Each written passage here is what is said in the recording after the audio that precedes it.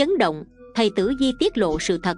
Đúng trong tháng 10, tháng 11 và tháng 12 âm lịch 2024 tuổi nhâm dần sinh năm 1962 trời ban lộc lớn gặp thời phất mạnh đổi đời sống cuộc sống giàu sang sung sướng tiêu tết thả ga. Quan hỷ chào mừng quý khán giả đang theo dõi và đồng hành cùng minh đường tử di. Mến chúc quý khán giả luôn đông đầy hạnh phúc gói trọn lộc tài giữ mãi an khang thắt chặt phú quý quý cô bác tuổi nhâm dần sinh năm 1962 thân mến, tài sản lớn nhất của một cá nhân chính là thời gian, một yếu tố vô hình nhưng nếu nhâm dần tận dụng nó đủ tốt, nó có thể trở thành mọi vật chất hữu hình, nó là một nguồn vốn của một cuộc đầu tư, có thể đưa nhâm dần đến bất kỳ nơi nào trên thế giới. Vậy nên nhâm dần hãy ngừng lãng phí thời gian, ủ ê, chán nản vì những gì nhâm dần đã trải qua trong đoạn thời gian vừa rồi nói chung không đáng. Cổ nhân có câu nhân sinh bách túy di kỳ, con người ta dù có sống thọ đến đâu cũng chỉ được 100 tuổi là cùng, ngày nay khoa học phát triển, đời sống ngày càng cao. Con người có thể sống thọ hơn nhưng không ai thoát khỏi quy luật sinh, lão, bệnh, tử. Vậy nên khi sống ở trên đời cần phải đối xử với nhau sao cho trọn tình người? Người ta thường nói, cha mẹ sinh con trời sinh tính, mỗi người có tính cách sống khác nhau, có người hiền lành tử tế, lại có người xảo quyệt gian tà cũng có người sống biết thương người để làm điều thiện, lại có người tìm cách lừa gạt, hãm hại lẫn nhau. Có người miệng nói miệng cười, nhưng trong lòng nham hiểm giết người không giao. Các cụ bảo khẩu phật tâm xà là vậy, người tốt người xấu, người thiện người ác đang xen nếu chỉ nhìn bên ngoài khó thấy hết được bản chất bên trong, thế thái nhạt nhòa qua sầu rơi rụng, nhân tình tựa như giấy mỏng bay. Mỗi người nhâm dần phải sống chân thành, thẳng thắn, lấy chữ tâm, chữ đức làm đầu ở đời ai cũng muốn có được cuộc sống yên vui, hạnh phúc, bình đẳng giữa người với người. Nhưng sự đời không được như thế, một số người lắm tiền nhiều có cuộc sống một cách đế dương lại muốn ngự trị thiên hạ, một số người thì có quyền cao chức trọng. Cậy quyền cậy thế mà chèn ép, áp bức bóc lột người khác, sống như thế đâu còn là tình người, không khí cũng vì thế mà tiêu tan họa mệnh cũng từ đó mà ra. Kính thưa quý khán giả và đặc biệt là quý bản mệnh tuổi nhâm dần sinh năm 1962 thân mến Mới đây nhất, dựa vào cung mệnh và lá số tử di thì thấy rằng Bước vào nửa cuối năm 2024 Nếu tuổi nhâm dần sinh 1962 tránh được ba điều này ác khổ nạn tiêu tan. Đặc biệt, cô bác sẽ bất ngờ được ơn trên ban lộc.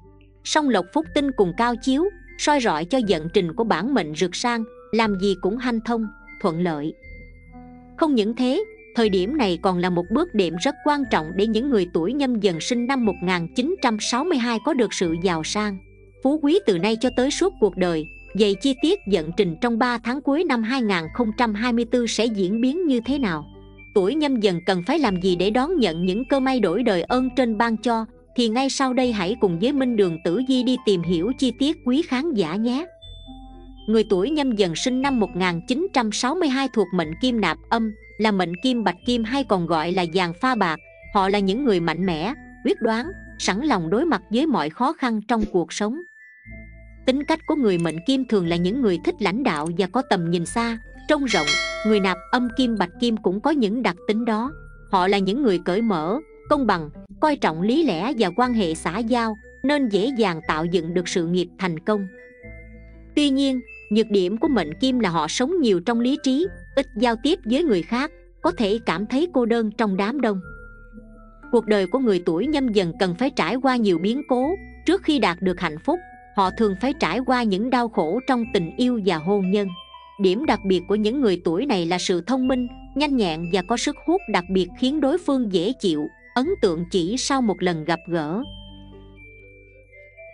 Xét tổng quan vận trình tử vi trong 3 tháng cuối năm 2024 của tuổi nhâm dần sinh năm 1962 Sự nghiệp và tài chính sẽ có rất nhiều thách thức cho tuổi nhâm dần trong 3 tháng cuối năm 2024 Nhưng đây là cơ hội để tuổi nhâm dần có thể mở rộng mối quan hệ và phát triển bản thân trong sự nghiệp. Theo tử vi, tuổi nhâm dần sẽ có một vài vấn đề. Tuy nhiên, đây là cơ hội rất tốt để phát triển kinh nghiệm và kỹ năng về tài chính tuổi nhâm dần cần phải cẩn thận không nên đầu tư vào những dự án may rủi. Về tình cảm, theo tử di tuổi nhâm dần, đây sẽ là nửa cuối năm có nhiều biến động và mang đến thật nhiều cơ hội. Còn về sức khỏe, những người mang tuổi nhâm dần cần phải quan tâm đến việc giữ gìn sức khỏe, tránh gây stress trong công việc. Sau đây sẽ là phần luận giải dẫn trình tử vi chi tiết trên từng phương diện chính của cuộc sống trong 3 tháng cuối năm 2024 của tuổi nhâm dần sinh năm 1962. Xét về phương diện công danh, sự nghiệp của tuổi nhâm dần sinh năm 1962 trong 3 tháng cuối năm 2024.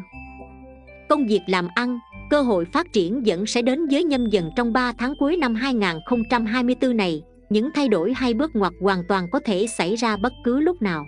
Đôi khi còn gây choáng ngợp các mối quan hệ nên được xử lý dĩ hòa di quý, tránh tranh chấp xung đột. Nửa cuối năm 2024 người tuổi nhâm dần có thể cân nhắc chuyển đổi lĩnh vực hoặc công việc. Tuy nhiên nên có sự chuẩn bị kỹ lưỡng, đừng quá nóng nảy, dội vàng đối với người tự kinh doanh, công việc sẽ gặp khó khăn và đòi hỏi bản mệnh phải nỗ lực lớn để vượt qua nhiều thử thách nên tìm cách hợp tác và liên kết để đạt kết quả tốt hơn là làm một mình. Đối với người làm việc trong cơ quan nhà nước, sự nghiệp sẽ gặp nhiều may mắn, dễ dàng đạt được mục tiêu. Người tuổi nhâm dần nên kiên nhẫn và xây dựng quan hệ tốt, cũng như tận dụng các mối quan hệ trong gia đình. Đối với người mới khởi nghiệp không nên mở rộng hoặc phát triển quá nhanh, thay vào đó, hợp tác và liên kết kinh doanh sẽ mang đến may mắn hơn. Nên lắng nghe ý kiến của bạn bè và tìm kiếm cơ hội không nên hấp tấp và đầu tư quá nhiều tiền bạc. Xét về phương diện tài lộc trong 3 tháng cuối năm 2024 của tuổi nhâm dần sinh năm 1962 Tình hình tài lộc của người tuổi nhâm dần ở mức bình thường, có thu nhập nhưng chi tiêu lớn. Tuy nhiên, nếu gặp khó khăn về tiền bạc, người tuổi nhâm dần sẽ nhận được sự giúp đỡ từ quý nhân hay gia đình, người thân. Để kích cầu về tài lộc trong 3 tháng cuối năm 2024 người tuổi nhâm dần nên sử dụng các thứ như chuột ôm tiền hay gậy như ý, ngũ phúc lâm môn. Trong 3 tháng cuối năm 2024 người tuổi nhâm dần nên tập trung vào mục tiêu của mình, không chấp nhận thất bại. Trong những thời điểm khó khăn, những đặc điểm này sẽ giúp bản mệnh đạt được những tầm cao mới trong sự nghiệp và tài chính. Người tuổi nhâm dần cũng nên lập kế hoạch hợp lý cho các chi phí tài chính và tiết kiệm tiền để duy trì sự phát triển và thịnh vượng phù hợp trong 3 tháng cuối năm báo hiệu có những khoản chi bất ngờ. Nên cần có tiền dự phòng, tuổi nhâm dần được khuyên nên tránh xa việc mua sắm tràn lan và hạn chế sự bốc đồng của mình trong mọi khía cạnh, từ tình yêu, sự nghiệp cho đến chi tiêu. Đặc biệt, nửa cuối năm 2024 sẽ mang đến những cơ hội mới và thú vị về sự tăng trưởng phát triển các tài sản tài chính. Bản mệnh luôn tìm hiểu thay đổi của thị trường để có những động thái đầu tư đúng đắn giúp mang lại nguồn tài chính lớn và thành công cho người tuổi nhâm dần. Xét về phương diện sức khỏe của tuổi nhâm dần sinh năm 1962 trong 3 tháng cuối năm 2024 Những người tuổi nhâm dần được khuyên nên kiểm soát căng thẳng và thực hiện các bài tập thở, tập yoga hàng ngày để duy trì sức khỏe thể chất và tinh thần thiền có thể giúp cải thiện sức khỏe tổng thể người tuổi nhâm dần nên bỏ thuốc lá để tăng cường trí óc và ý chí của mình, vì nhâm dần là biểu tượng của sự quyết tâm, sức mạnh, tinh thần và thể chất cao. Người tuổi nhâm dần nên phòng bệnh và khi có bệnh cần đến ngay bác sĩ chuyên khoa, bất cẩn là không được phép. Người tuổi nhâm dần phải duy trì sức khỏe tinh thần và thể chất tốt để tận dụng tối đa những đặc điểm bên trong của bản thân. Tuổi nhâm dần trong 3 tháng cuối năm nay phải lưu ý các bệnh liên quan tới huyết áp và chú ý bệnh tật lâu khỏi đặc biệt phải chú ý vấn đề xe cộ và đường huyết không tốt Xét về phương diện tình duyên, gia đạo của tuổi nhâm dần sinh năm 1962 trong 3 tháng cuối năm 2024. Cảm xúc của người tuổi nhâm dần dự đoán có nhiều dao động trong 3 tháng cuối năm 2024, bản mệnh nhạy cảm hơn, thiếu cảm giác an toàn. Điều này sẽ khiến người tuổi nhâm dần lo lắng về những cái được và mất trong mối quan hệ, có thể đánh mất tình yêu đích thực của mình. Nếu hành xử không đúng, bản mệnh nên chú ý không mang những cảm xúc tiêu cực về nhà để không ảnh hưởng đến quan hệ hôn nhân. Đối với người tuổi nhâm dần đã kết hôn thì trong nửa cuối năm 2024 tình cảm gia đình có thể gặp khó khăn, dễ xảy ra mâu thuẫn và thiếu sự hòa hợp trong cuộc sống. Do đó, hãy giới hạn xung đột và kiềm chế lời ăn tiếng nói của mình. Tiếp sau đây sẽ là dẫn trình tử vi chi tiết từng tháng âm lịch trong 3 tháng cuối năm 2024 của tuổi nhâm dần sinh năm 1962. Tử vi tháng 10 âm lịch 2024 của tuổi nhâm dần sinh năm 1962. Xét về phương diện công danh, sự nghiệp Xem tử vi tháng 10 âm lịch của 12 con giáp nhận thấy Sự khéo léo rất quan trọng trong thời gian này Khi bản mệnh tương tác tốt với đồng nghiệp, tiền bối, khách hàng Thì sẽ có một tháng mới làm việc ưng ý. Đây là lúc các mối quan hệ ổn định Cho bạn nhiều cơ hội tiếp xúc với mọi người xung quanh tăng cường kết nối và bày tỏ ý kiến cảm xúc của bản thân. Đây cũng là thời gian tốt để tìm kiếm những cơ hội mới cho đời sống tình cảm. Hay hợp tác công việc hãy nên lưu tâm đến điều tiết kế hoạch thời gian đừng để vấn đề trở nên rối rắm. Do khối lượng công việc vượt quá tầm kiểm soát học cách tin tưởng vào khả năng của bản thân sử dụng tư duy, lý trí để đo lường các vấn đề thực tế và tìm kiếm hướng đi thuận lợi cho mình. Xét về phương diện tài lộc, chính tài mang lại tài lộc vô cùng rực rỡ cho con giáp tuổi nhâm dần trong tháng mới, nên việc đầu tư có lợi cho bản mệnh. Lúc này, tứ lục cung bay về phương tây bắc. Bản mệnh cần học cách kiềm chế cảm xúc trong việc mua sắm, vì ở mức thu nhập cao hay thấp, không quan trọng bằng việc bạn tiết kiệm được bao nhiêu tiền có nhiều tiền trong tay không có nghĩa là thoải mái chi tiêu đâu đấy nhé. Bản mệnh nên thận trọng chi tiêu, tránh mua bán quá mức, gây tốn kém. Xét về phương diện sức khỏe. Tử vi tháng 10 âm lịch của tuổi nhâm dần cho thấy, ngũ hành tương sinh nên sức khỏe của bản mệnh đã được cải thiện rõ rệt trong thời gian này. Có thể vì bạn đã có kế hoạch điều chỉnh sức khỏe phù hợp với bản thân, nhiều người hoàn thành được mục tiêu giảm cân của mình một cách rực rỡ, lấy lại được eo thon và dốc dáng gọn gàng nên lưu ý thời điểm này không có lợi cho sức khỏe trẻ em và người cao tuổi, nhất là người lớn tuổi. Rất dễ xảy ra tình trạng mạch máu khó thông suốt, gây đột quỵ, nhồi máu cơ tim. Khẩu quyết, chớ nên khôn lõi kẻo bị ghét bỏ. Quý nhân là tuổi ngọ và tuổi tỵ, tiểu nhân là tuổi thìn và tuổi mão. Màu sắc may mắn là đen và vàng. Tử vi tháng 11 âm lịch 2024 của tuổi nhâm dần sinh năm 1962 Xét về phương diện công danh sự nghiệp. Xem tử vi tháng 11 âm lịch của tuổi nhâm dần thấy rằng, các hung tinh xuất hiện trong tháng này sẽ đem lại nhiều tác động tiêu cực trên phương diện sự nghiệp cho người tuổi nhâm dần. Do sức khỏe suy giảm và tinh thần mệt mỏi, nên bạn thường xuyên bỏ bê, lười biếng, không muốn bắt tay vào công việc. Nếu cứ tiếp tục tình trạng này bạn sẽ rất dễ mắc phải sai lầm trong công việc, thậm chí bị lãnh đạo đánh giá thấp. Bạn không muốn nỗ lực từ trước đến nay của mình bị đổ bể chỉ vì một chút lơ là trong khoảng thời gian ngắn trước. Vì thế, bạn cần phải cổ vũ mình suy nghĩ tích cực hơn. Nếu có vướng mắc gì không thể tự mình giải quyết, thì bạn có thể trao đổi trực tiếp với cấp trên, với bạn bè, đồng nghiệp hoặc với người thân của mình để được giúp đỡ. Mặt khác, do ảnh hưởng của hung tinh thiên cẩu, kẻ tiểu nhân vẫn sẽ luôn nhòm ngó bạn bất chấp bạn đã an phận thủ thường. Thời điểm này bạn cần hạn chế tính nóng nảy, tránh tranh cãi với người khác kẻo bị kẻ xấu thừa cơ hãm hại. Tuy nhiên, nếu bạn có thể chăm chỉ nhiệt tình hơn trong công việc thì mọi chuyện sẽ không mãi u ám như vậy. Vận trình của bạn vẫn sẽ có những điểm sáng do các các tinh tả phù. Nguyệt mã và thiên vũ che chở, càng cố gắng bao nhiêu, bạn lại càng học hỏi thêm được nhiều kiến thức hữu ích để áp dụng vào công việc bấy nhiêu. Hơn nữa với tinh thần làm việc cầu tiến, dù bạn có mắc lỗi sai đi nữa, thì cũng sẽ được mọi người thông cảm và giúp đỡ vượt qua. Xét về phương diện tài lộc. Tài lộc của người tuổi nhâm dần nhìn chung chưa có bước tiến nào đáng kể trong khoảng thời gian này. Người làm kinh tế vẫn đi theo con đường làm ăn đã cũ của mình, nên đồng tiền chảy về nhỏ giọt, thậm chí bị các đối thủ cạnh tranh nhanh chóng vượt qua. Thêm vào đó, con giáp này còn ngại ngần trong việc hợp tác với người khác bảo thủ, không muốn đổi mới suy nghĩ, nên công việc kiếm tiền lại càng thêm khó khăn, nhiều người thậm chí còn lâm vào cảnh bế tắc. Đối với người làm công ăn lương, vì chưa nhiệt tình và tâm huyết trong công việc nên khó gặt hái được thành tích cao. Các khoản thưởng nóng gần như là không có, ít nhất bạn nên cố gắng duy trì khoản lương cứng của mình, đừng vì mắc lỗi sai mà bị trừ lương. Sao bát bạch cũng khiến cho tình trạng sức khỏe của bản mệnh suy giảm? Tháng này bạn phải xác định tinh thần mình sẽ tốn thêm một khoản tiền thuốc thang. Để có thể giảm thiểu chi phí này, bạn cần nhắc nhở bản thân sinh hoạt khoa học. Nếu có vấn đề gì thì cần thăm khám ngay từ khi còn sớm để tránh khiến bệnh tình trở nặng. Còn nếu muốn cải thiện tình hình kinh tế, bạn nên năng động và tin tưởng hơn vào chính bản thân mình, để thử sức trong những lĩnh vực mới hoặc là môi trường mới. Có thể quá trình làm quen, ban đầu bạn sẽ da dấp và vất vả song cuối tháng sẽ là lúc bạn được tận hưởng thành quả của mình.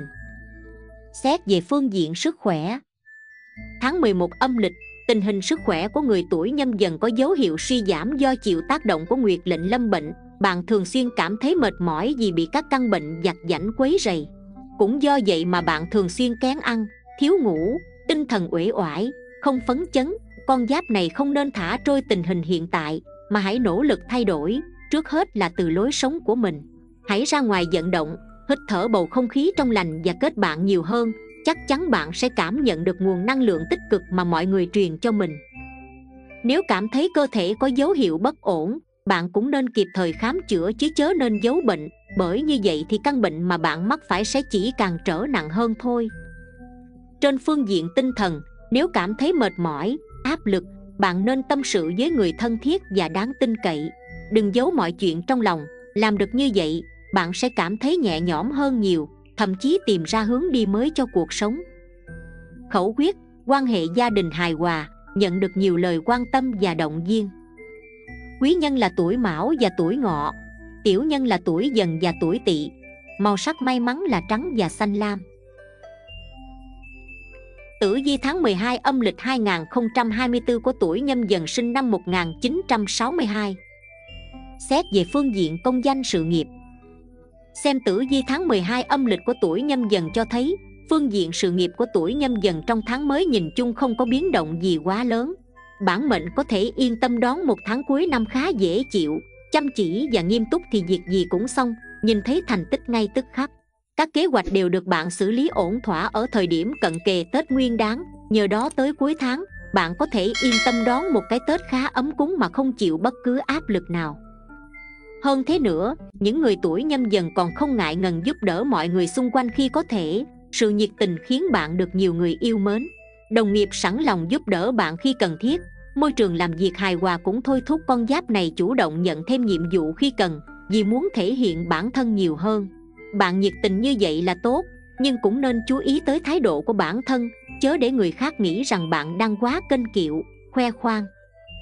Lưu ý rằng Tháng này Nguyệt lệnh lâm mộc dục có thể khiến tâm tình của bạn thiếu sự kiên nhẫn, Nếu không được như ý thì dễ bỏ cuộc nửa chừng. Điều này nên hết sức tránh để xảy ra nhiều lần, Nhất là trong quá trình hợp tác làm việc chung với người khác. Có thể khi ý kiến đưa ra không được đánh giá tốt khiến bạn chạnh lòng và giận dỗi, Nhưng thái độ đó chỉ cho thấy sự thiếu chuyên nghiệp của bạn mà thôi. Nhưng ở mặt tích cực, Mộc dục cũng báo hiệu nhân duyên tốt lành, Không chỉ lợi cho chuyện yêu đương mà còn hỗ trợ khá nhiều cho công việc.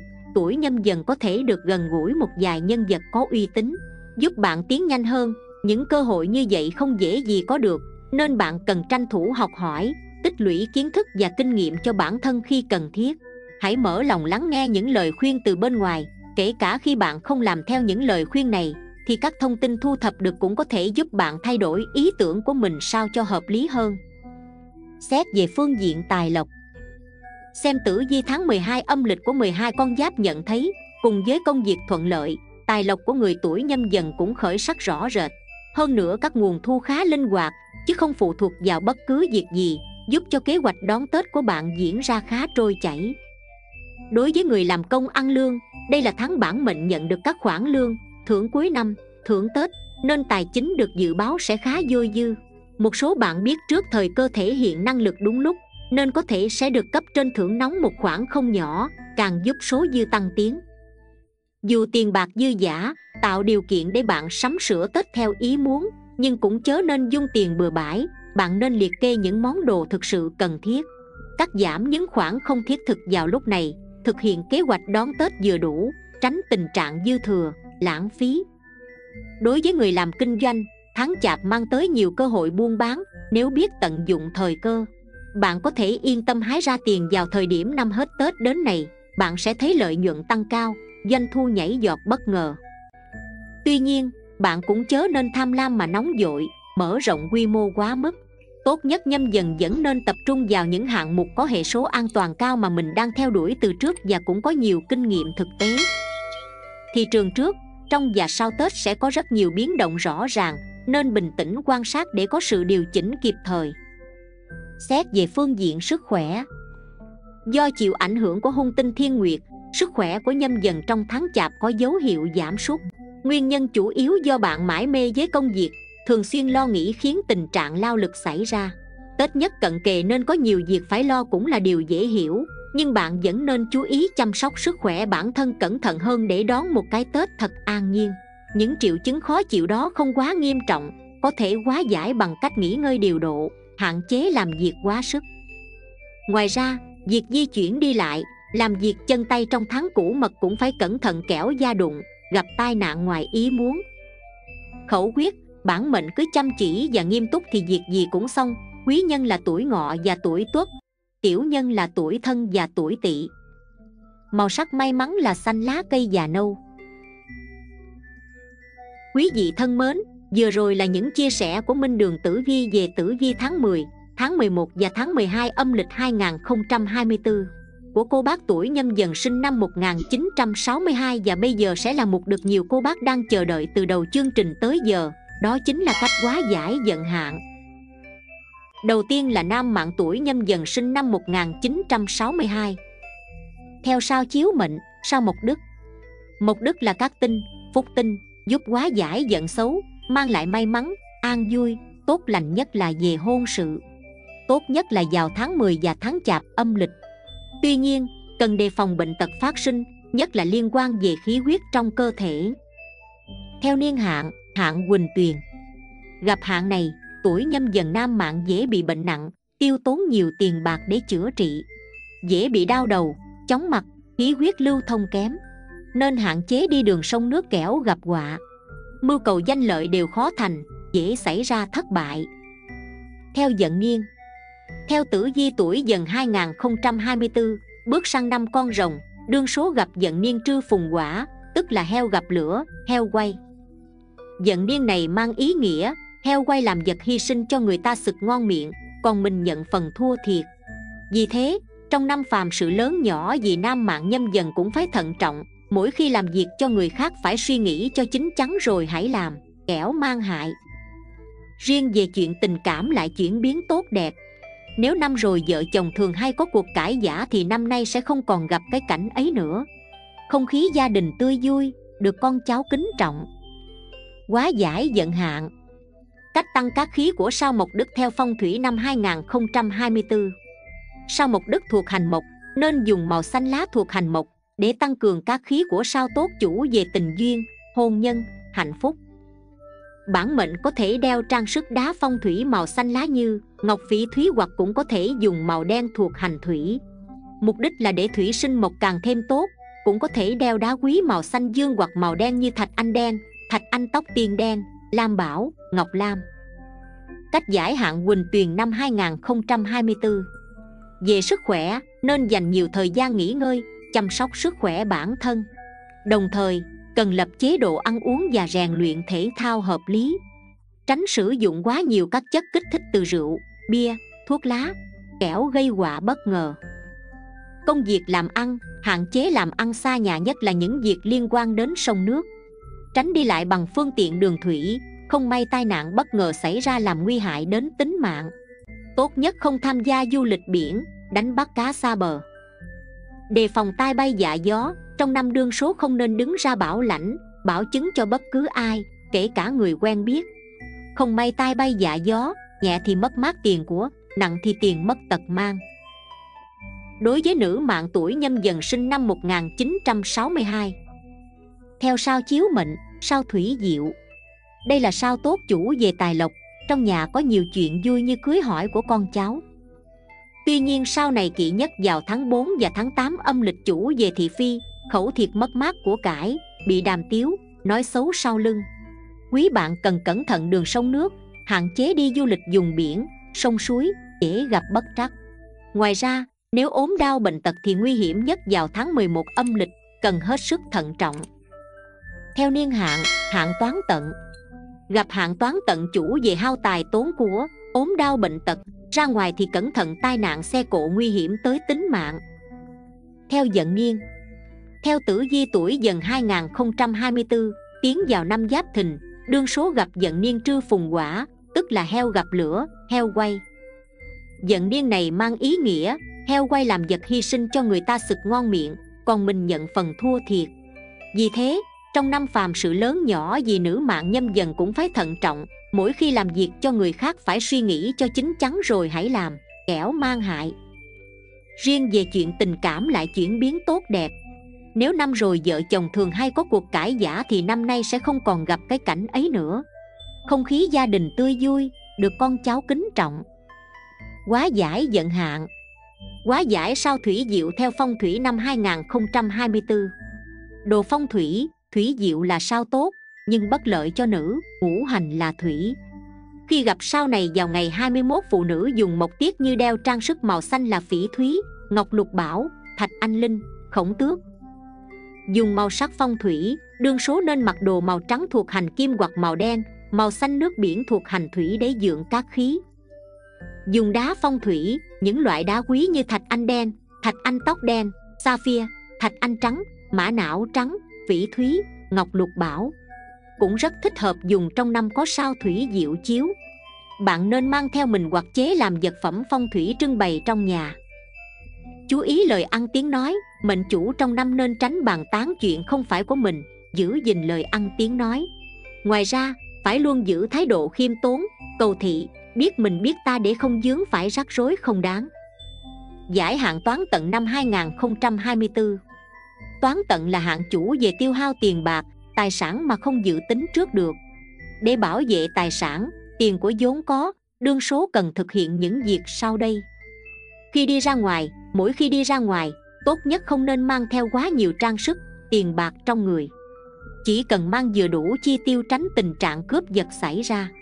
Để đảm bảo không gặp tai bay dạ gió, tai nạn bất ngờ xảy ra, bạn không ra khỏi nhà khi không cần thiết tránh ra ngoài khi thời tiết nắng mưa bất thường không may bị cảm mạo. Trong làm ăn kinh doanh, tránh hùn hạp, góp vốn với ai, ngược lại, nên tự mình quyết định tiền của bỏ ra, đừng để người hợp tác làm ăn chung cản trở làm mất hết tiền đầu tư ban đầu.